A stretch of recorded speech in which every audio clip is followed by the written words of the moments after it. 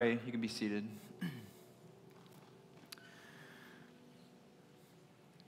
God, we thank you for the worship that has been had. And as we continue to worship uh, around your word, Lord, direct our thoughts. Help us to, to think rightly about who you are. Help us to listen well, Lord. And I pray for your help, Lord. Uh, we ask this in Jesus' name. Amen. You've most likely heard the quote I fear all we have done is to awaken a sleeping giant and fill him with a terrible resolve. This, of course, has been attributed to the Japanese admiral Isoroku Yamamoto. Whether or not he actually said these words is debated. However, the sentiment is true.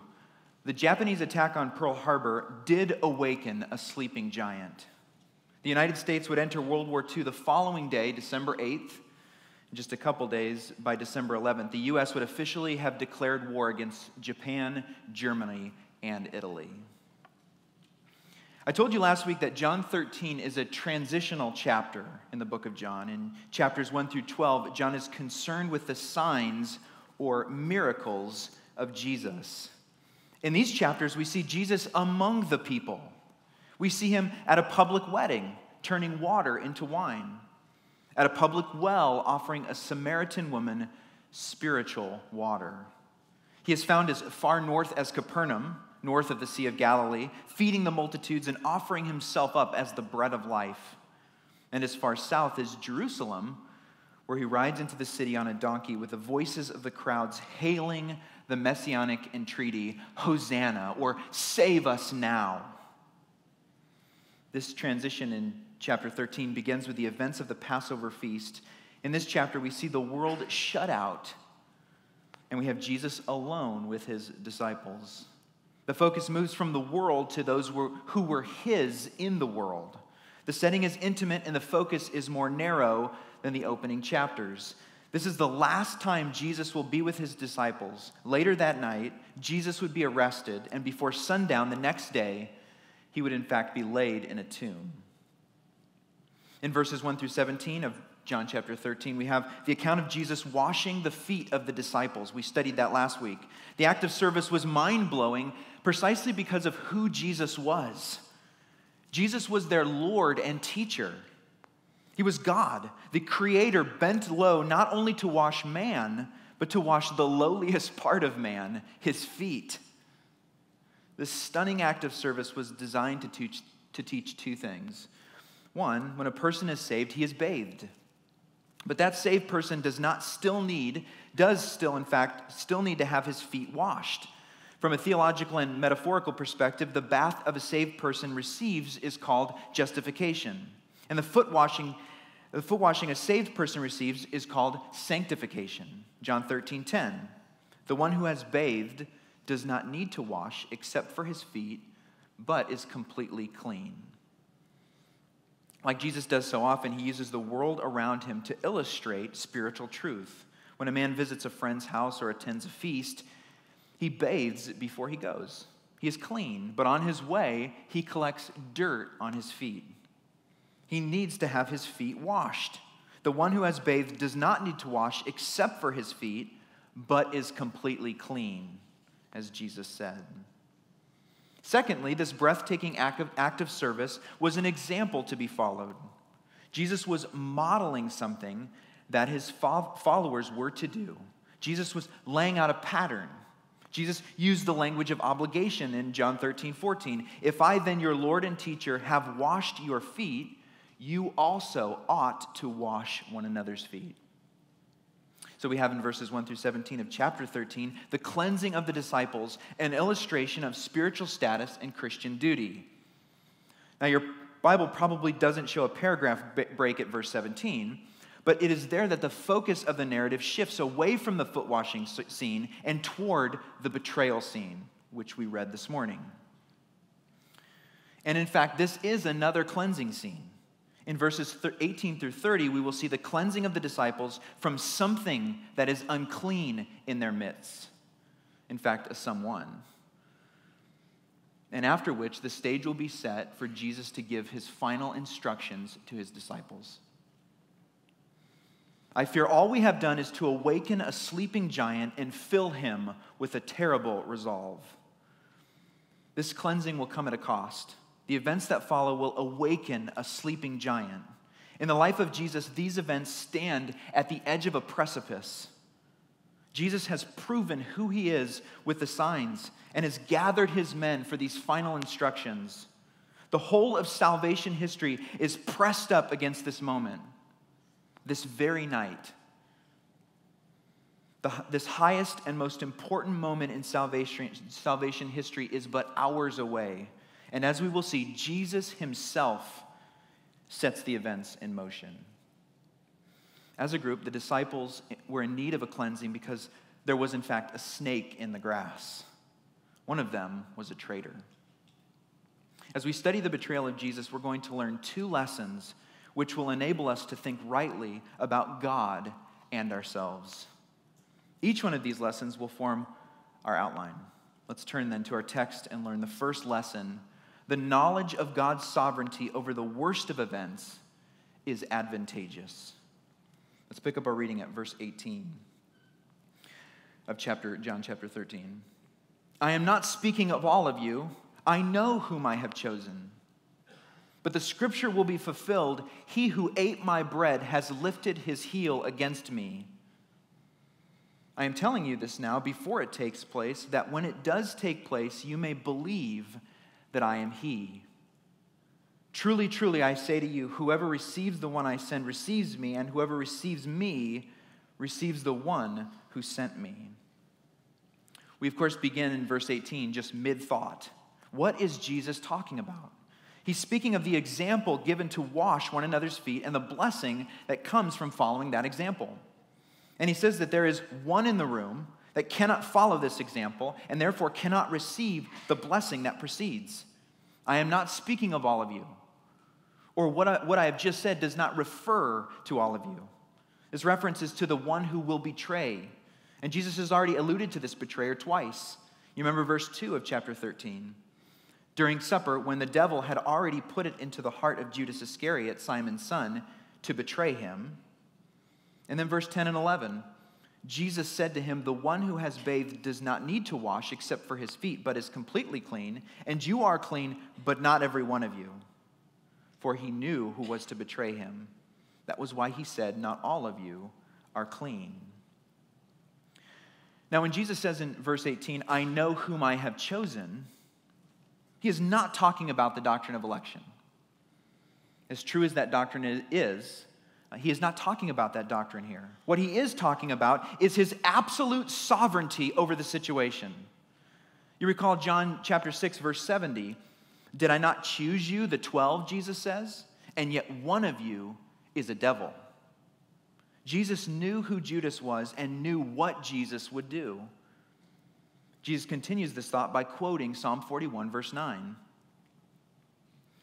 But the scripture will be fulfilled He who ate my bread has lifted his heel against me. Judas is not taking Jesus by surprise. And there are other passages in the Old Testament that have this ring of Judas's betrayal. Recall Psalm 55, verses 12 and 14. This is David, of course. For it is not an enemy who taunts me, then I could bear it. It is not an adversary who deals insolent, insolently with me, then I could hide from him. But it is you, a man, my equal, my companion, my familiar friend. We used to take sweet counsel together. Within God's house, we walked in the throng, we walked among the congregation. Or Psalm 109, verse 8 May his days be few, may another take his offense, take his office, excuse me. Peter quotes that in the opening chapter of the book of Acts. Or Zechariah chapter 11, verses 11 through 13. Then I said to them, If it seems good to you, give me your wages, but if not, keep them. And they weighed out as my wages 30 pieces of silver. Then the Lord said to me, Throw it to the potter, the lordly price at which I was priced by them. So I took the 30 pieces of silver and threw them into the house of the Lord to the potter. This is exactly what Judas did. Judas conspired with the chief priests for 30 pieces of silver. And seeing that Jesus was condemned Under the weight of regret, he threw the pieces of silver back into the temple. The chief priests, being okay with crucifying the Son of God, couldn't imagine using the money to fund the temple. So, what did they do? They purchased a potter's field, which came to be known as the field of blood. Jesus is quoting Psalm 41 to substantiate the fact that the events of his betrayal and his trial and execution are not outside of his control. That's why he says in verse 19, I am telling you this now before it takes place, that when it does take place, my betrayal, you may believe that I am he. Jesus was not some beguiled or weak victim of an unsuspecting treachery. No, Jesus was the very one sent from God to accomplish his divine purpose. And Jesus has the thoughts of those he loves in mind. Jesus doesn't want the devil to have any opportunity to weaken his troops, so he tells the men these things so that when these events un- unfold, they may believe, as he says, that I am he. Now, you probably know that the, one of the themes of the Gospel of John is this little phrase, I am. John records Jesus using this phrase seven times, and he often attaches it to a metaphor. I am the bread of life. I am the light of the world. I am the door. I am the good shepherd. I am the resurrection and the life. I am the way, the truth, and the life. And finally, I am the vine. Jesus also records using the phrase like we have it here, simply, I am he, or as he says in John, uh, John chapter 8, before Abraham was, I am. The emphatic expression, I am, was for the Jews connected to God's name. In the Old Testament, the name of God is derived from the simple verb to be, hayah. This is how God revealed to his name, uh, revealed his name to Moses in Exodus chapter 3. You remember, I am who I am. God is the self-existent one. His name is He is. he always will be, he always was. He is. He is the self-existent one. The Jews of Jesus' day understood when understood that when Jesus says I am, he was claiming to be God. And so in John chapter 5, John chapter 8, when he, when he does this, they pick up stones to try to kill him. Jesus himself affirmed last week, we read, that he was, he, he affirmed himself that he was Lord and teacher. And this week we see his another self affirmation that he says, I am. He is claiming to be God, he is claiming to be Yahweh. Jesus wants his disciples to see his sovereignty in the events that are about to unfold. Jesus is not afraid of affirming the sovereignty of God over even the most sinister of events. The quotation from Psalm 41 is helpful to establish the sovereignty of God over the situation, but it also adds some color to this villainous event. In Psalm 41, David is lamenting about the fact that even his closest friends have turned against him. Jesus sees this treachery that David experienced and he uses it as a reference to his own treachery by quoting it. In the ancient Near Eastern culture, eating bread at the table of a superior was a pledge of loyalty. You might recall the story of Elijah and the prophets of Baal. You remember when uh, the prophets of Baal gather and, and Elijah gathers and he calls down you know, fire from the Lord, and the fire from Yahweh comes down and consumes and licks up the water of Elijah's offering. Well, how were, how were those prophets of Baal identified? It says in 1 Kings 18 that they, they, they ate at Jezebel's table. Who were the prophets of Baal? Those ones that sit at Jezebel's table. That's how they were identified. That's where their allegiance was because they ate with her. To betray the person with whom bread had been eaten was to turn hospitality on its head. Now, Jesus had already done this in the positive by washing the disciples' feet. Now, Judas would turn hospitality on its head in the negative by betraying the host of the meal. The psalm says that the one who ate my bread has lifted his heel against me. There are many possible allusions here. It may simply be a nod to the ancient Near Eastern cultural faux pas of showing a person the bottom of your feet. It may be some kind of turned reference to Genesis 3:15. It most likely is it symbolizes the, the, the kick symbolizes the termination of intimate fellowship. The intimacy of eating a meal together is contrasted with a blow from a foot, a kick of the heel. The two are at odds with one another. Verse 20 Truly, truly, I say to you, Jesus says, whoever receives the one I send receives me, and whoever receives me receives the one who sent me. The words of this solemn statement seem rather surprising here. I think Jesus is bringing together a couple things. First, to receive the sent one, a sent one, is to receive the sender. Whoever received this, the disciples received Jesus. Whoever received Jesus receives the Father. This truth comes right after Jesus says that he is the I am. It is because Jesus is the I am that the one who receives Jesus receives the one who sent him, namely the Father. In this way, the unity of God becomes the foundation for finding God. If we find Jesus, we have found God. Whoever receives me receives the one who sent me. This truth is also found in those who follow Jesus because they are sent by him and are therefore united with him. You remember Romans chapter 6 verse 5, for if we have been united with him in a death like his, we shall certainly be united with him in a resurrection like his. Our union with Christ means that if someone accepts us, they accept the one we are united to. Whoever receives the one I send receives me. Secondly, the verse also serves to place the disciples in contrast to Judas. The disciples received Christ, Judas did not. He was the one that lifted his heel against Jesus. Not receiving Jesus meant Judas did not receive the one who sent Jesus, namely the Father. Finally, this verse is meant to give the disciples confidence of their mission. They had been commissioned by God, and they need not lose faith or confidence in the midst of Jesus removing this unclean one. Their mission has not changed. Therefore, what we learn in verses 18 through 20 is this the knowledge of God's sovereignty over the worst of events is advantageous, which is our outline point. The disciples could not know everything at this point. But Jesus is giving them the keys of understanding the events that are about to unfold. It is to the advantage of the disciples to know that the worst of events are being controlled by God. Verse 19 I am telling you this now, before it takes place, that when it does take place, you may believe that I am He. We have a tendency of seg- segregating God from the painful events of our life. But God wants to comfort us by saying that He is right in the middle of all of those painful events.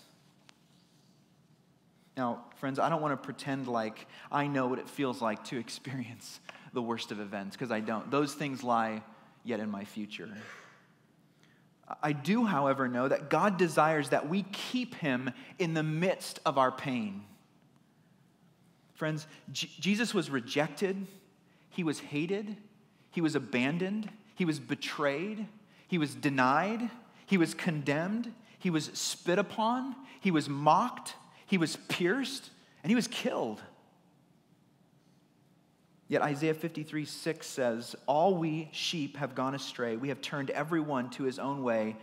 And the Lord, the Lord, has laid on him the iniquity of us all.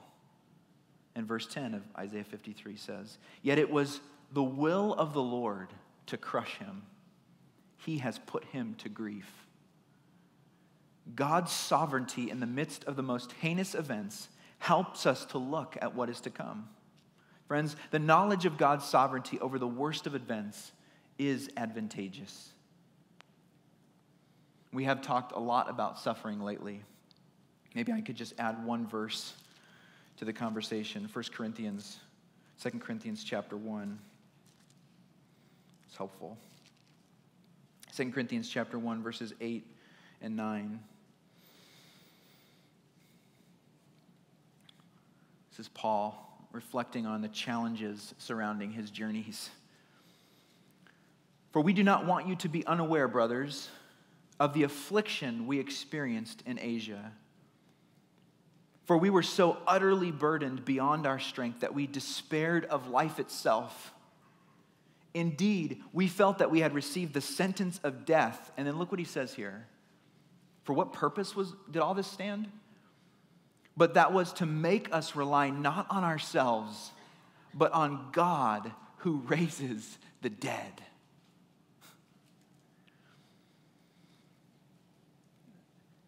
Paul saw that the sufferings that he experienced were there to remind him and point him to the God who raises the dead.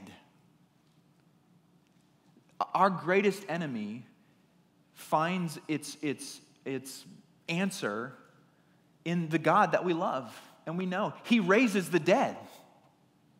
All that can happen to us is that we die. That's it. And then God, the one we trust, raises our dead bodies. And so that's the God that we look to in the midst of our pain.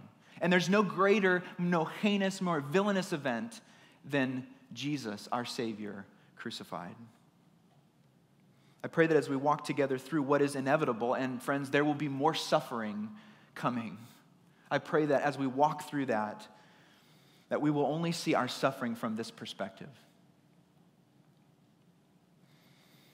With the affirmation of God's involvement in the midst of his betrayal, we will learn our second lesson from this betrayal. Number two, the potential of man's sinfulness in the best of circumstances is appalling. Let's turn and look closer at Judas.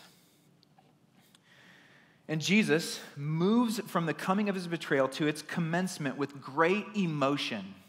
Verse 21. After saying these things, Jesus was troubled in his spirit and testified. It's emphatic, and he testified Truly, truly, I say to you, one of you will betray me. We can see the humanity of our Lord here. While holding all of knowledge, he is filled with emotion concerning the coming events. Jesus is troubled. The word carries the idea of being disturbed, being upset, being confused, being agitated. Very literally, it means to be stirred. In John chapter 5, it's used of water being stirred. Jesus is troubled like the stirring of a sea or the movement of a storm. He is experiencing violent emotional agitation. Interestingly, Jesus is described three times in the Gospel of John this way. This word, he is troubled, is used three times. At the death of, death of Lazarus, maybe you remember, John records that Jesus was deeply moved in his spirit and greatly troubled. At the thought of his own death in John chapter 12, Jesus records Jesus saying, John records Jesus saying, Now is my soul troubled. And what shall I say? Father, save me from this hour? But for this purpose I have come to this, this hour. Father, glorify your name. So at the death of Lazarus and at his death, he's greatly troubled. And again, here, at the thought of his betrayal and death, Jesus was troubled. In each of these, Jesus is troubled in the context of death. Jesus was troubled by death. He was stirred to emotion, even anguish or agitation by death. As the perfect example, Jesus is teaching us how we are to think about the great enemy of man. It is fascinating that the knowledge of events does not cripple Jesus from an emotional experience. Knowing the outcome didn't remove the pains of the journey. Jesus had every reason to be stoic or resigned in his feelings, but he was not. Jesus was not milquetoast, he was moved filled with emotion, Jesus says, Truly, truly, I say to you, one of you will betray me. Jesus has already mentioned the betrayer, but now he is most specific. He says that his betrayer is, in fact, in the room. Verse 22 The disciples looked at one another, uncertain of whom he spoke. Interesting here, no one suspected Judas. Of course, it speaks to his subterfuge or his trickery and the rightness or fairness by which Jesus would have treated him. No one suspected Judas. Secondly, notice that Judas remains unmoved. In the face of Jesus being stirred, the betrayer remains unstirred. Imagine staring at Jesus, who is visually moved. He makes this emphatic uh, statement demanding attention, attention. Truly, truly, I say to, you, say to you, one of you will betray me.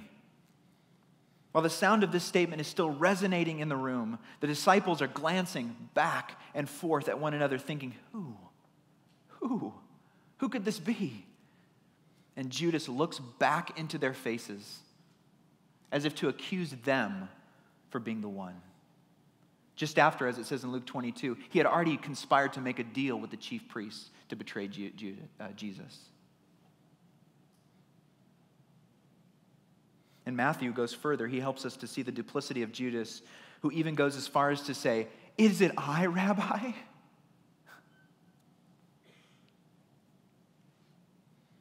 One of his disciples, verse 23, whom Jesus loved, was reclining at table at Jesus' side. Now, much has been written about this little phrase, the one whom Jesus loved. This is the very first time it's used in the gospel, and John uses it four more times. The title is John's way of indirectly referring to himself. For whatever reason, John doesn't write his name into the gospel, but he uses this phrase, the one whom Jesus loved, of course, for himself.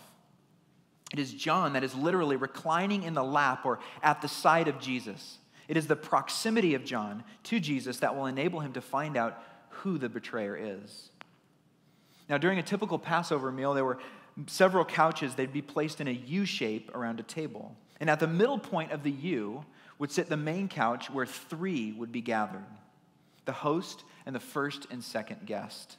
The first guest of honor would sit to the left of the host, and the second, the second guest of honor would sit to the right. The, te- the text is not specific, but clearly the, the disciple whom Jesus loved was sitting at one of these two spots. Verse 24 So Simon Peter motioned to him or nodded to him to ask Jesus of whom he was speaking. Peter is always resourceful. We know that. He, he motioned or he gestured to John to ask Jesus who, the, who this betrayer is in regards to the seating arrangements, clearly Peter is not in one of the two places of honor. For if he was, he could have asked Jesus himself. Peter is, in fact, further away from our Savior. So the disciple, leaning back against Jesus in verse 25, said to him, Lord, who is it? John was so near to Jesus that all that was required for him to do was to lean back in order to question Jesus, Lord, who is it?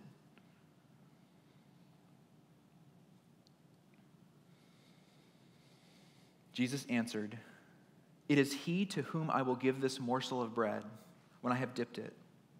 So when he had dipped the morsel, he gave it to Judas, the son of Simon Iscariot. If John was in the place of honor and Peter was not, and Judas was so close as to be given a piece of bread, it is most likely the case that the betrayer was sitting at the very side of Jesus in one of the two places of honor. Here we have Judas running headlong into the most devastating providence. When Judas takes the morsel of bread, he sets on course a series of actions that will put the Son of Man on the cross. Everything was standing ready, and with the, and with the passing of the morsel, the deal was done. The final events of God's plan of redemption will begin to unfold. For everyone in the room except John, this would be a picture of Jesus' friendship with Judas. The act would have appeared to show favor, but to John and for us, it is really a signal of who this betrayer is. And Judas, most likely swelling with pride, accepts the morsel. You recall when Peter denied Christ? Luke, Luke 22. Luke says that somehow in the midst of denial, the Lord turned, and in, in that moment, their eyes met. He denied Christ and he turned and, and they saw each other. They looked into each other's face. The words that Jesus spoke concerning Peter's betrayal rushed upon him. The images and prophetic words flipping through his head. Before the rooster crows, you will deny me three times. But how does Peter respond? He went out and wept bitterly. He literally wept with agony. What about Judas's response? It's exactly the opposite. He does more than catch an eye through a crowd. He heard the prophecy. He has deceived those in the room by claiming innocence, thus accepting or thus ex- accusing one of them. He has received a foot washing and a morsel of bread from the very Lord himself. Yet there's no contrition, there's no shame, There's no feelings of guilt. Judas accepts the morsel, and it says in verse 27 Then after he had taken the morsel, Satan entered into him.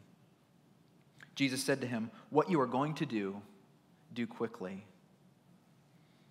Judas' betrayal of Jesus has the most serious consequences.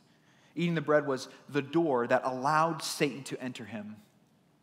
The language of entering is used in the context of demon possession, but this is no mere de- demon. This is Satan himself. The sleeping giant has been awakened, and now he has permitted to do what he is going to do.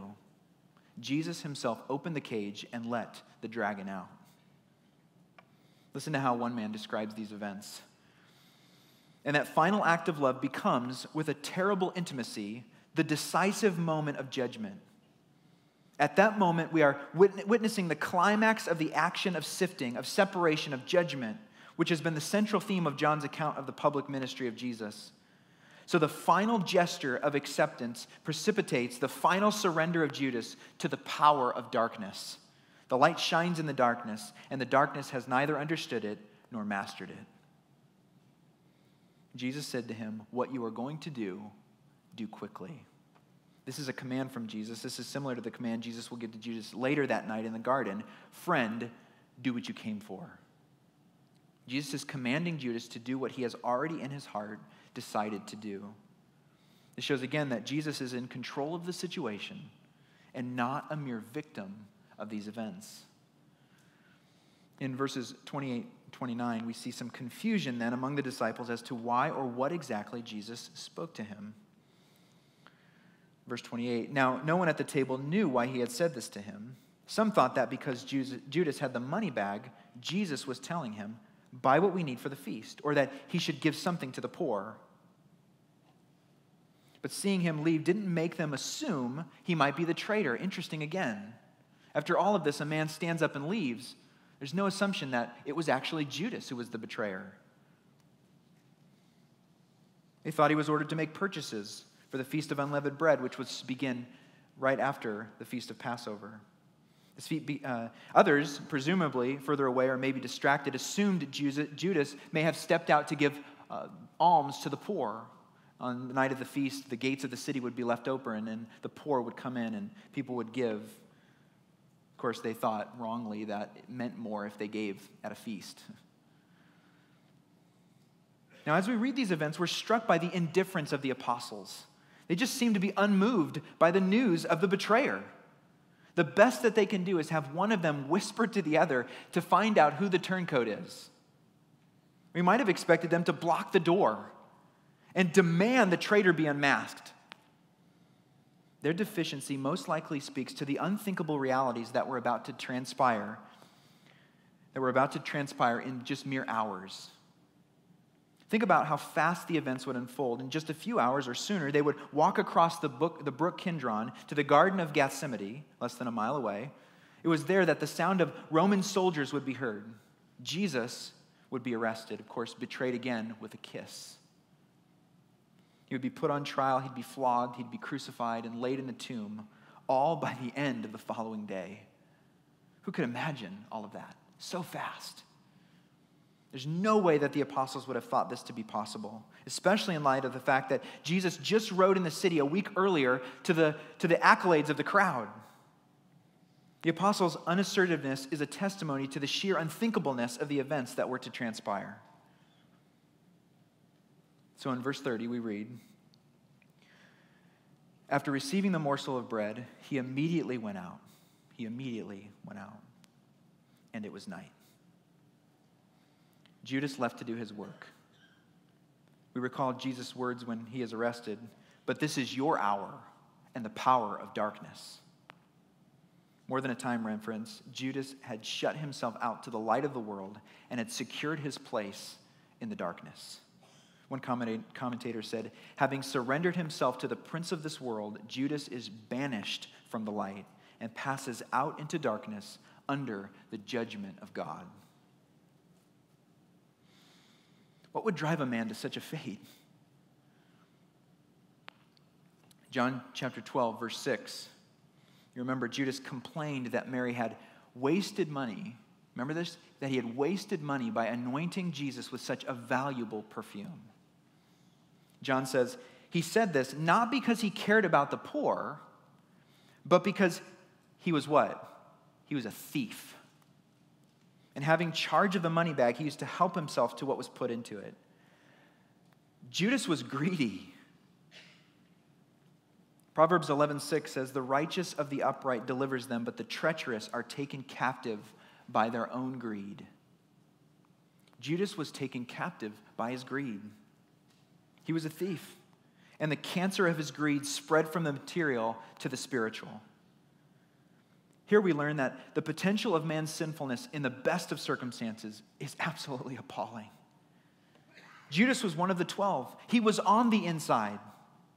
He had been invited into the most unique and historic group. Only 12 men, except for Matthias, who would replace Judas, and Paul, have ever been in all of world history apostles. Jesus was all the while drawing each of these disciples in with the cords of his love, yet the greediness of Judas would not allow him to be taken in. It is evident that Judas was altogether about his own glory. He tried to shame Mary for anointing Jesus, and here in the upper room, he disguises his guilt. Judas was a poser, he was a phony, he was a pretender. You know, if the life of Judas proves anything, it's that greed is a detestable evil. And it's this kind of evil that works like a magnet to pull other evils in. The jaws of greed are unceasing, or the appetite of greed is unceasing. Paul speaks about greed in 1 Timothy chapter 6 verses 9 and 10. He says this: "But those who desire to be rich fall into temptation into a snare, into many senseless and harmful desires that plunge people into ruin and destruction. For the love of money is a root of all kinds of evil. It is through this craving that some have wandered away from the faith and pierced themselves with many pangs. I cannot think of a better example of that than Judas himself. It is greed that Paul says becomes a snare. The idea of a snare or a trap is that you can't get out. You can't get out of it. Being greedy is like falling through a trap door into an inescapable place. Judas was trapped by his greed. His greed led him away from the faith and caused many pangs. Greed in our life will lead us away from the gospel. Greed sets our trajectory away from God. If one of the 12 could fall through the trapdoor of greed, so can we. If you're struggling with greed, I would encourage you to listen to two messages from uh, Scott. Scott Maxwell taught on greed, greed in the gospel. Uh, two messages, September 4th and 11th of 2011. The gospel is the only tool that can release you from the snare of greed. Listen to 1 Corinthians chapter 6 verses 9 through 11. We read this often, but it's so helpful. Or do you not know that the unrighteous will not inherit the kingdom of God? Do not be deceived, neither the sexually immoral, nor idolaters, nor adulterers, nor men who practice homosexuality, nor thieves, nor the greedy, nor drunkards, nor revilers, nor swindlers will inherit the kingdom of God. And such were some of you. But you were washed, you were sanctified, you were justified in the name of the Lord Jesus Christ and by the Spirit of our God. Trusting in Jesus as your substitute, as your Lord and Savior, is the only way to be washed from the sin of greed. And it's the only way to protect against the growth of greed in our hearts. Church, as I close, studying the events of Jesus' betrayal is helpful because it calls us to trust that God is in control and challenges us to be committed. God was working in and through these events to bring about his predetermined plan.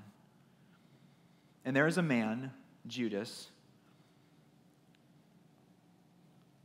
who time after time refused to turn from his sin. The threads of God's sovereignty are woven together with the threads of man's decisions. I hope the cleansing of the disciples, both the foot washing and the removal of the betrayer, has come to you as an encouragement. Let's pray.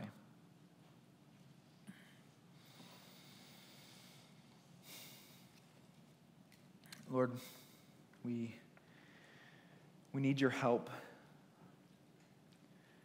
to trust you in the worst of events. There can be no greater example than what we have seen this morning. Here, Jesus is, and here, the betrayer is in the room, and yet, Jesus, knowing what will happen, walks forward, trusting you, Lord. Uh, what an example. What faithfulness. And yet, that is in contrast to uh, us, the potential of man's sinfulness. Uh, if we let greed go in our lives, uh, this is the path. The end is displayed in this man, Judas, Lord. Uh, protect us from this. Help us to look to you. Help us to reach for you, Lord. Uh, when we want to reach for what might fulfill us in this world, help us to set those things down and not pursue those things and to reach for you, Lord. Help us to look towards you and uh, confess our sins, Lord. To not be as Judas was and in the midst of what was so evident in the room every opportunity, a, foot washing, a proclamation of who the betrayer was, uh, even in the prophetic fulfillment of putting the morsel in his mouth, all these opportunities to stop and to do what Peter did, to run out weeping with contrition, he continued to suppress it. Oh God, help us to come clean, Lord. I pray for our body. I pray that in the midst of suffering and trial, you'd be with us, Lord, that we would uh, lean not on our own understanding, but on your word. In Jesus' name we pray. Amen.